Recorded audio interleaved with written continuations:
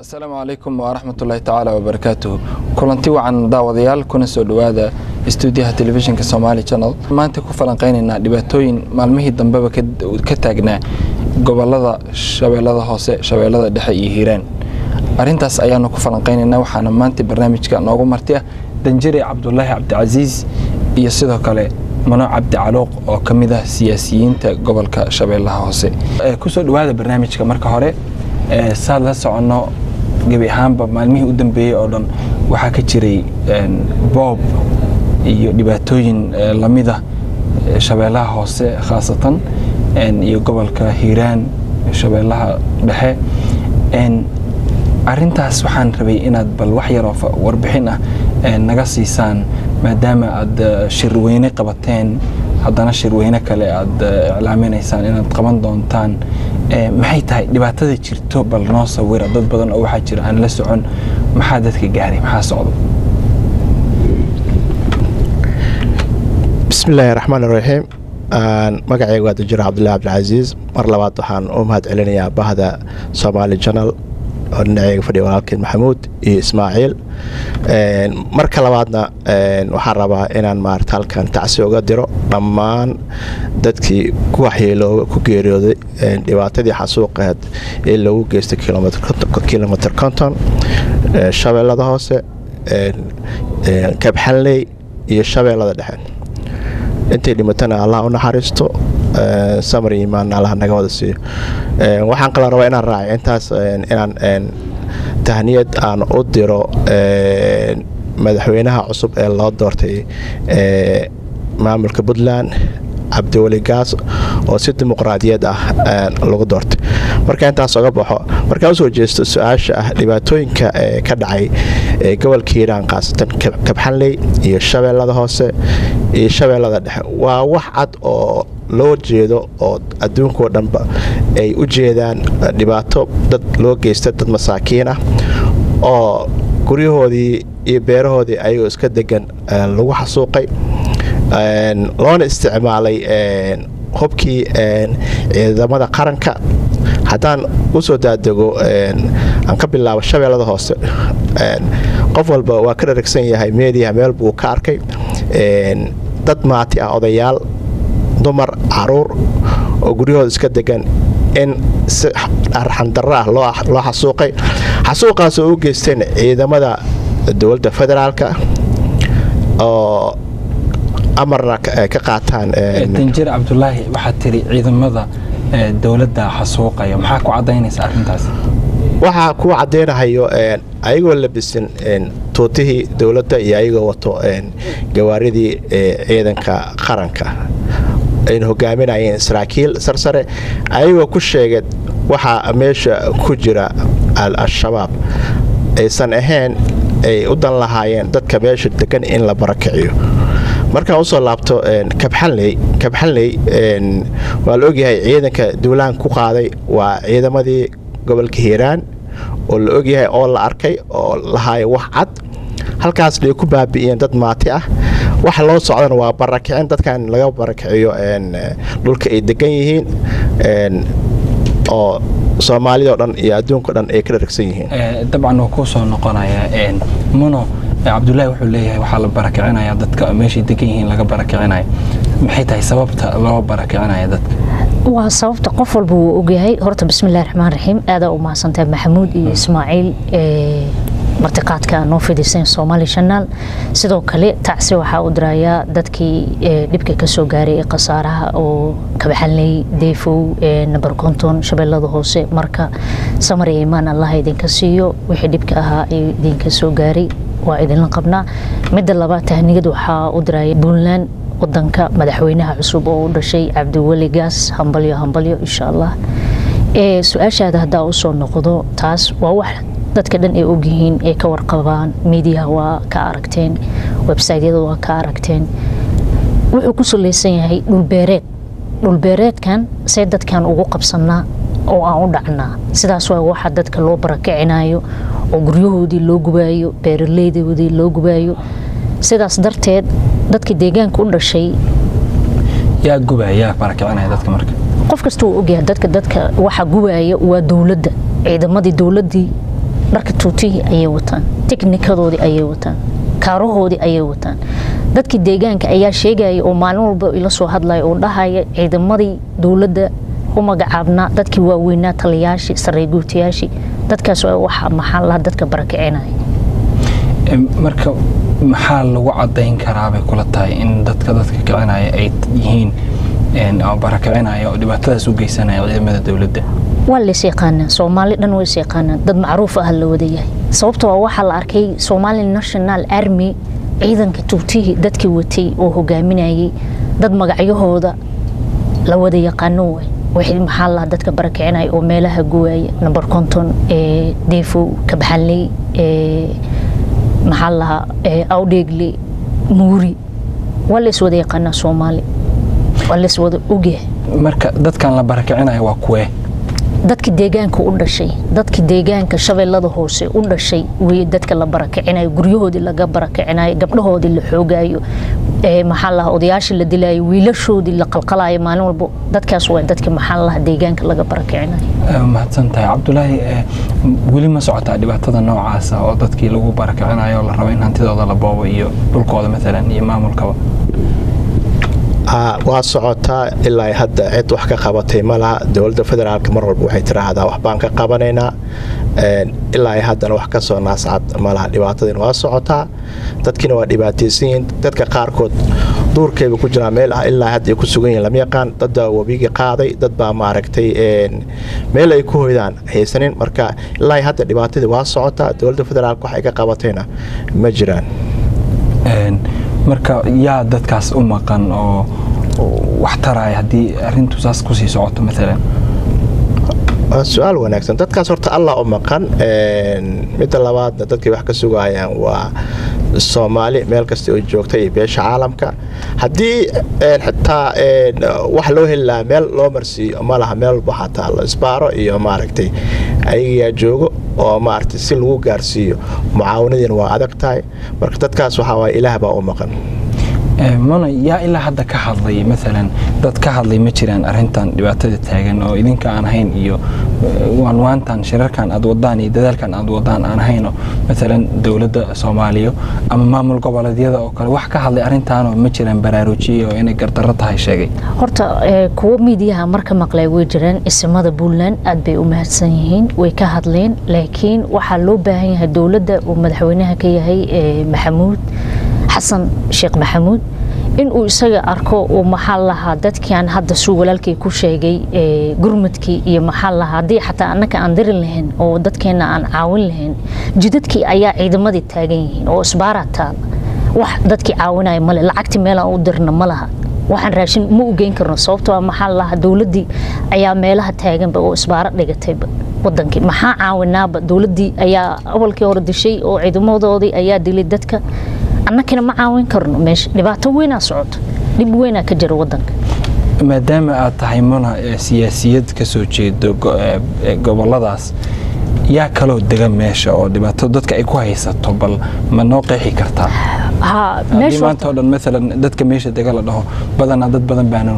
garanaynin cidda laga hadlaaye dhibaatada haysato yay dhibaatada haysataa dhibaatada qaas ahaan soomaalida meesha degto soomaali waa lays wada yaqaanaa. Nin walba deegaankooda waa la wada yaqaanaa meesha ay degan yihiin.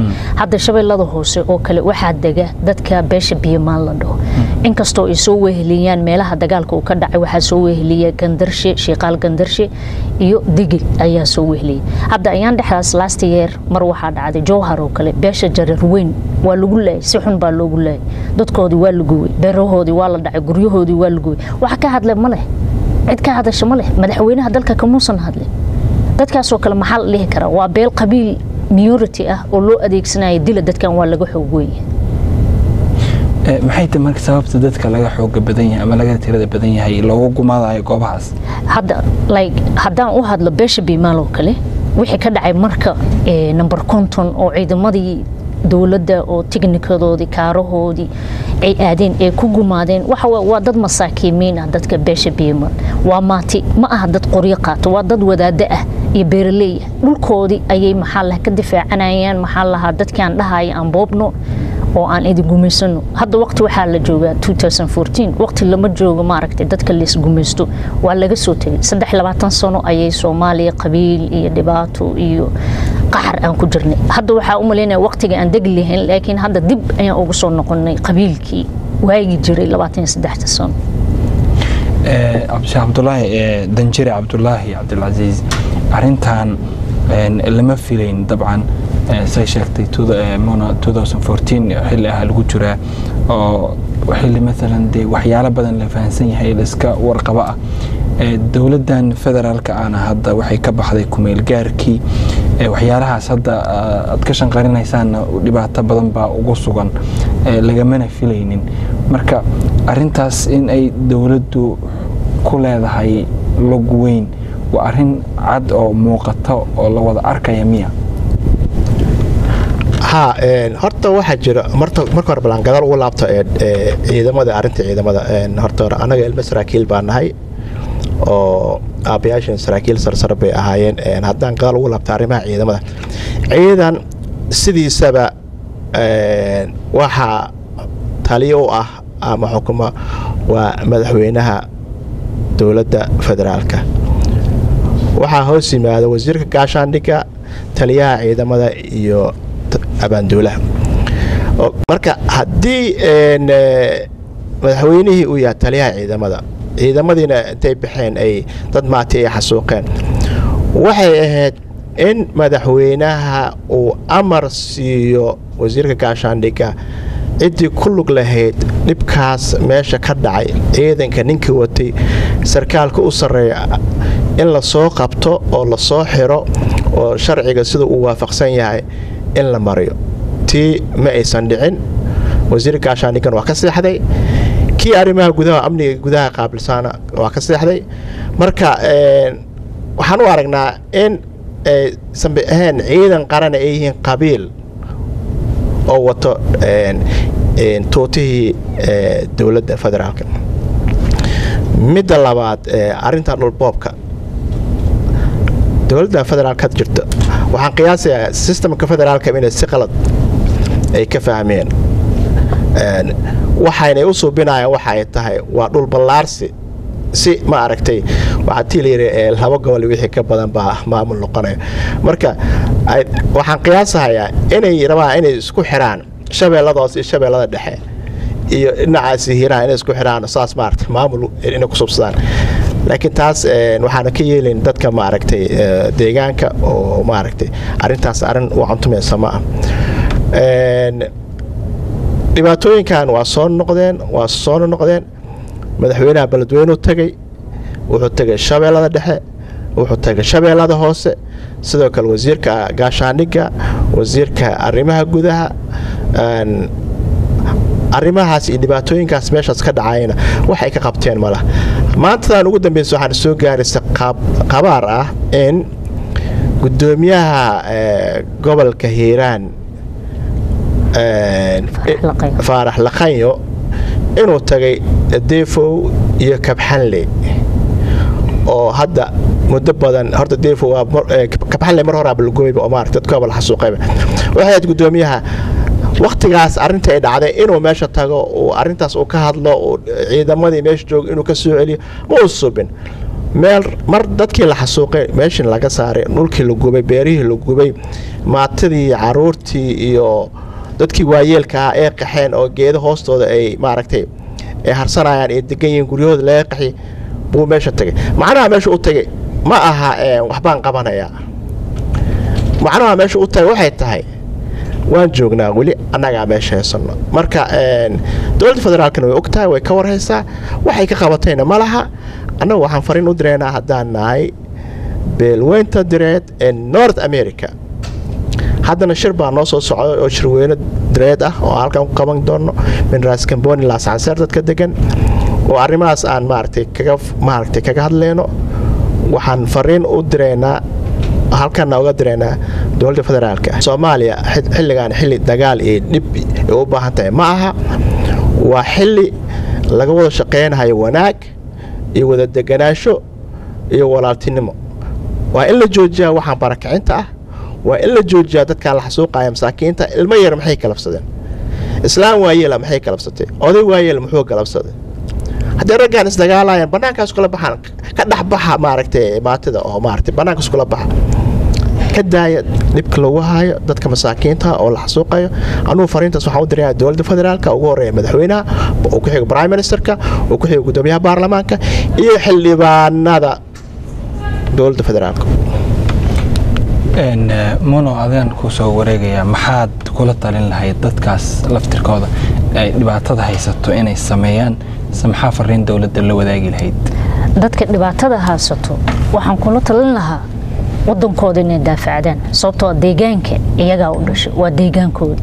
Maanta hadda haddaan aniga ahay shabeellada hoose haddaan ku dhashay khaasatan marka haddaan ku dhasho oo reer marka ahay intaan baxo puntland ma aadi karo ma dhihi karo madaxweynaan ka noqonaya. Waxaas wax socon kara ma aha marka dadka oo biyomaalka qolada kale oo ku hayso maxaa laha weerarka iyo maxaa la dhulboobka ku haya waa dad meelo kale ka yimi. Dhulka ma laha iyaga. Hadday rabaan way degi karaan dhib ma laha. Soomaali waa laisla degaa dhaqan aan leenahay. Way soo geli karaan way degi karaan dhib ma laakiin dhul aad u dhalan ma ku xukumi kartid dad.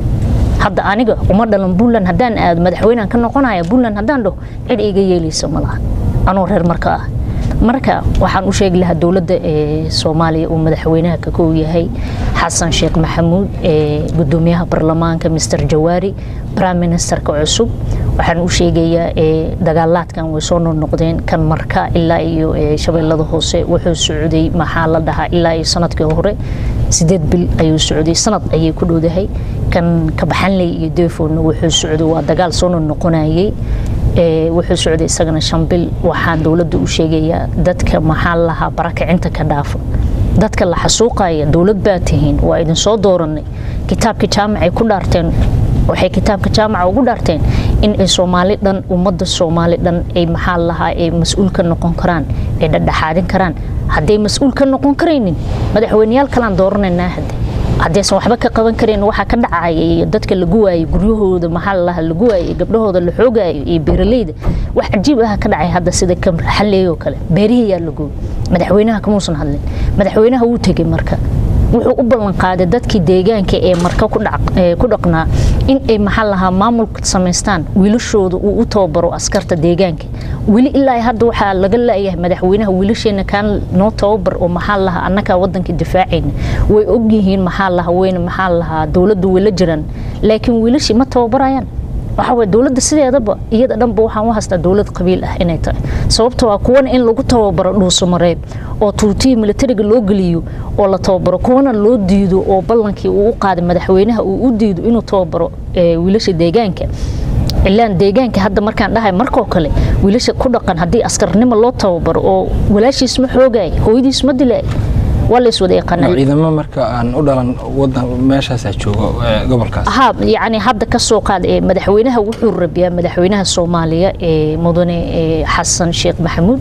Wuxuu rabiyaa maxaa lahaa dad deegaanka u dhalan inuu dhaho ha idinku xukumaan askar ha idiin noqdaan. Annaka wiilal way noo joogaan wiilasha noo wiilal joogaan? hanaankaas u diyaarsan miyaa jooga hadda oo ha aanan ha way la tababarin joogaan way joogaan. Wiilal waxaa joogo carruur badan oo waxaa joogta diyaar ah inay noqdaan somali national army ee ka qayb qaataan ee aawe hadda ciddi tababari lahayd carruur maxaa ka wadaa? Wiilal wiilal dhalinyaro dhalinyaro waxaa jooga deegaanka marka diyaar ah oo maxaa la dhahaa inay deegaankooda difaacdaan oo askar raba inay noqdaan. Cid qoraysaan jirin. Madaxweynaha wuu u ballan qaaday hadda ka hor wuu aaday marko weli ballanti waa la laaya maxaa la dhahaa ballanti kamuusa soo bixin cabdulaahi waxaan soo gaarnay dabcan ee gabagabadii barnaamijka. Maxaa ku soo gabagabeynaa waxaan rabaa inaan ku daro. Horta hore waxaan u mahad celinayaa dowladda somalilan iyo dowladda puntland sida ee, galgacaltooyada iyo walaaltinimada leh ay u taageereen een, ee, wa- walaalahood dhibaataysan shabeelladoodsa shabeellada dhexe iyo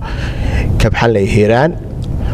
Waxaan halkan aan fariin u dirahayaa dowladda jabuuti madaxweynaha jabuuti waxaa jirto in ciidamo jabuuti ka socda inay joogaan gobolka hiiraan oo ciidamadaas ah ciidamada amison Ee, waxaa la ogsoon yahay in madaxweynaha xasan guuleed oo dowladda federaalk ugu deeqay hub hubkaasoo la rabay in lagu soo celiyo ammaanka iyo kala dambeynta ee, maaragtay wadanka laakiinse waxaa loo isticmaalay hubkii uu baxshay in dadka lagu xasuuqo laguna barakiciyo waxaan halkan fariin oga dirhayaa madaxweynaha dowladda jabuuti mudane ismaaciil cumar geele in maaragtay oo arinkaas uu ka hadlo. Inagoo haddaanahay qurba joogta maraykanka nord america adigaan ku soo dayeynaa jawaab baan kaa suganaa. Da labaad haddii arrimahan wax laga qaban waayo waxaan u gudbinaynaa international community. Dacwooyin baan gudbinaynaa oredin waa gudbinay qaybtii labaadna haddii socotaa arrinta shirkana oo shirweynaha guud wuu dhacayaa insha allah bishan gudaheeda uu dhici doonaa waana laiskugu imaan doonaa. Arrimahaasaan lagaga hadlayaa. Intaan shirkaas la gaarin waxaan sugaynaa warcad inuuna soo siiyo madaxweynaha jamhuuriyadda jabuuti iyo madaxweynaha dowladda federaalk. Jawaab deg deg ayaan ka sugaynaa. Mano waxaad ka tagtay ood ku dar lahayd miyaa jira barnaamijka dhammaan haa marka hore waxaa aad iyo aad u mahadsantahay rabaa inaan dhaho gudoomiyaha xisbiga ucid faysal cali waraabe. Sidii sharafta laheyd uu ugu hadlay miidiyaha ugu hadlay dhibka ka taagan shabeellada maxaa lahaa dhexe number conton iyo kabaxanley defow meelihii dagaalka saameeyeen. Waa nin soomaali ah qof walbo soomaali ah waa dhibka ka jira waxaas wuu ka damqanaya. Marka taas horta waxaan rabaa inaan aad iyo aad u mahadsan yahay inaan dhaho faysal cali waraabe. Midda labaad gudoomiyaha gobolka banaadir tarsan. Banaadir ayuu maamuli laayay xaafadaha la kala haasto oo al-shabaabka ay ku jiraan iyo maalin walba qaraxa ka socdo. Maxaa midda isaga soo farageliyey midda shabeellada hoose iyo midda shabeellada ka dhexe ka dhacaya? See u soo farageliyey muxuu muxuu sheegay? Wuxuu ka daba qaatay faysal cali waraabe. Wuxuu dhahay nin waxaa tahay tigre ah sababtoo ah wuxuu diidan yahay in caalamka ay ogaadaan dhibka iyo dulmiga lagu haayo dadka direed dirta koonfur. Dadka ku nool especially ee kabaxanley iyo defow iyo maxaa laha marka number conton wuu ka hadlay faysal cali waraabe isagoo nin reer somaliland ah isagoo ah gudoomiyaha tarsan gudoomiyaha banaadir kamuusan hadlin laakiin markuu ka hadlay faysal cali waraabe wuu ka daba qaatay. Waxaas waa laga fiican yahay inuu ka hadlay ahayd maxaa lahaa gudoomiye tarsan dhibka ka taagan maxaa la dhahaa number conton way u dhowdahay maxaa lahaa muqdisho kamuusan hadlin wuxuu ka hadlaya agagaarka muqdisho laakiin qof markuu damco inuu ka hadlo waxaa dhibka taagan oo lagu haayo kabaxanley iyo iyo number conton wuu ka daba qaadanaya. Marka waxaan u arkaa meesha wax dowlad ah inaysan ka jirin dowlad dana gaar wadata inay tahay u arkaa. Midda kale haddaan rabo inaan ku darsado shalay waxaan u jeeday websaytyada iyagoo dhahayaan madaxweynaha jabuuti ismaaciil cumar geelle ciidamadiisa ayuu soo diray alla anigu waxaan ka baqayaa ilaan madaxweynaha ismaaciil cumar geelle middan waa mid fariin aan u diraayo waxaan ka baqaya waxa ka